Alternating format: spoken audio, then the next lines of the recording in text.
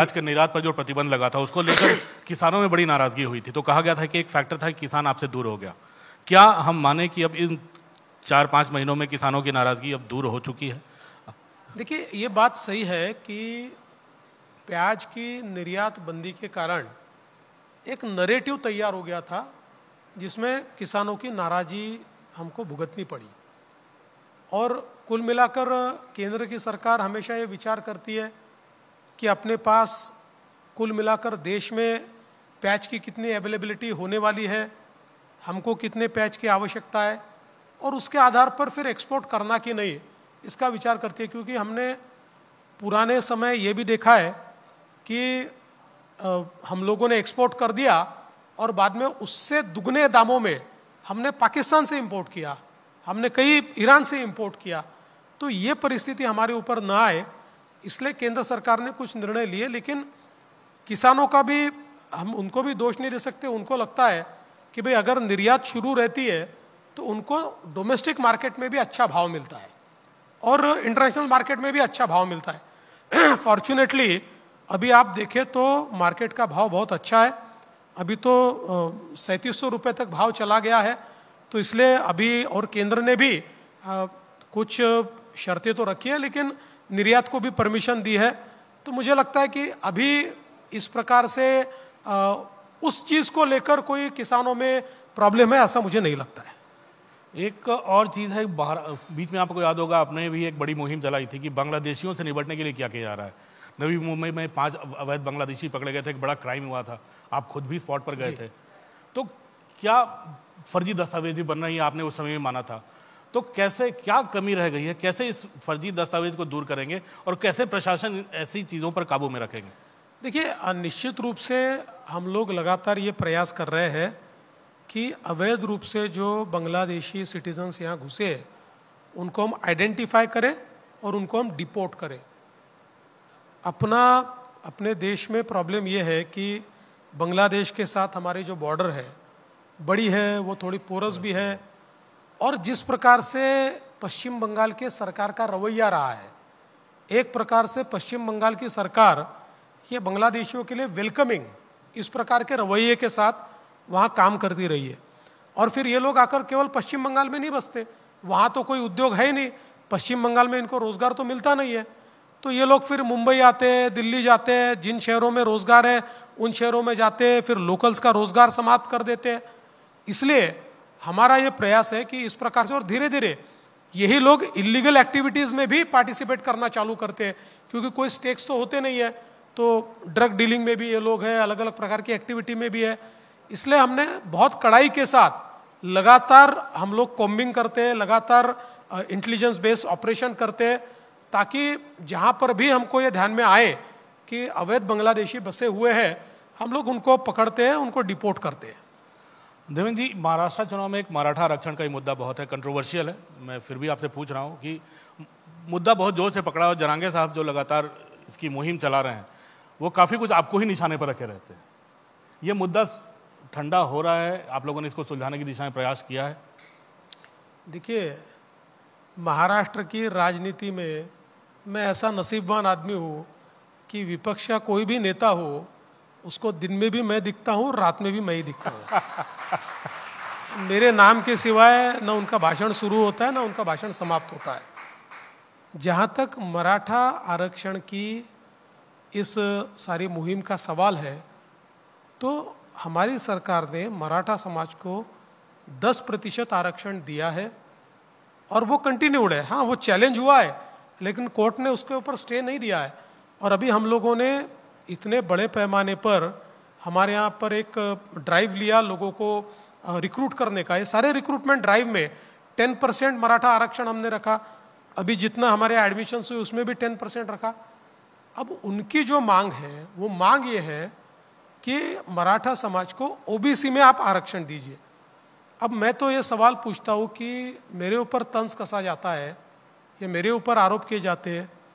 मैं तो खुले आम और आपके भी नेशनल टीवी से सवाल पूछता हूँ कि इस मुद्दे के ऊपर शरद पवार साहब, उद्धव ठाकरे जी और नाना पटोले जी या कांग्रेस पार्टी अपना रुख स्पष्ट करके दिखाए। अगर उनमें हिम्मत है, मैं चैलेंज देता हूँ, अगर उनमें हिम्मत है तो वो खुलेआम ये बताए कि भाई, मराठा समाज को ओबीसी में लिया जाए, ये जो जरांगे पाटिल इन्होंने मांग रखी है इस मांग पर उनकी पार्टी की भूमिका क्या है? नहीं बता सकते। डुप्लीकेट काम चल रहा है। मराठा समाज को एक प्रकार से ये लोग सब बरगलाने का काम कर रहे हैं। और मैं ऐसा मानता हूँ कि ये सारी चीज़ें धीरे धीरे मराठा समाज को भी समझ रही है। इसलिए इसको चुनावी मुद्दा अगर हम माने, तब भी मैं ये मानता हूँ कि मराठा समाज हमारे साथ रहेगा। जब मैं मुख्यमंत्री था, तब हम लोगों ने मराठा समाज के लिए अन्ना से पटेल आर्थिक विकास महामंडल तैयार किया था। मुझे इस बात का गर्व है कि उसके माध्यम से पिछले छह सालों में एक लाख मराठा उद्यमी हमने तैयार कर दिए। और आज वो सारे के सारे लोग एम्प्लॉय नहीं है एम्प्लॉयर है। हमने सारथी जैसी व्यवस्था खड़ी की तो मराठा समाज के जो युवा है, वो आई बने, आईपीएस बने, एमपीएससी में पास हुए, वो डॉक्टरेट किया, वो प्राध्यापक बने, ये सारी व्यवस्था हमने की है। लोगों ने इस चीज़ को देखा है। तो मुझे लगता है कि अभी जिस प्रकार से जरांगे पाटिल के पीछे छुपकर हमारे विरोधी तीर चलाना चाहते, ज़्यादा समय चला पाएँगे ऐसा मुझे लगता नहीं है। अब जरांगे साहब की बात हुई तो मैं एक कुछ बयान मैं आपके सामने पढ़ना चाहूँगा देवेंद्र जी।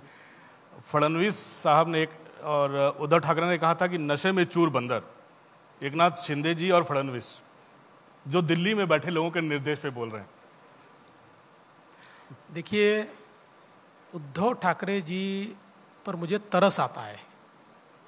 एक समय था हिंदू हृदय सम्राट शिवसेना प्रमुख बाला साहब ठाकरे मातोश्री पर बैठते थे और दिल्ली के सारे नेता मातोश्री पर आते थे। अब उद्धव जी को तीन दिन दिल्ली जाकर बैठना पड़ता है। सोनिया जी की अपॉइंटमेंट का इंतज़ार करना पड़ता है। और सोनिया जी को जब मिलते तो सोनिया जी फोटोग्राफ भी नहीं निकालने देती। बिना फोटोग्राफ के उनको लौटना पड़ता है। तो इसलिए मैं ऐसा मानता हूँ कि उन्होंने हमारे ऊपर बोलने की जगह, हम तो नेशनल पार्टी है ही। और हम लोग दिल्ली जाते हैं तो देश के प्रधानमंत्री को मिलने जाते हैं, ममता जी भी जाती है।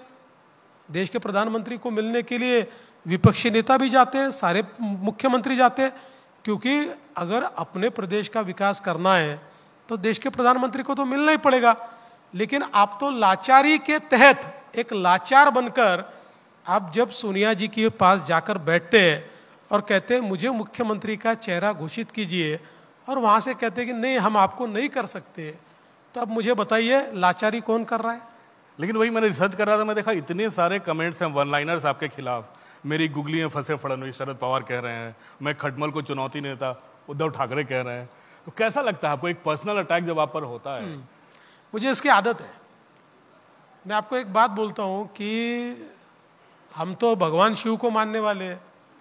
इसलिए जहर भी पीते हैं और फिर भी जीते हैं।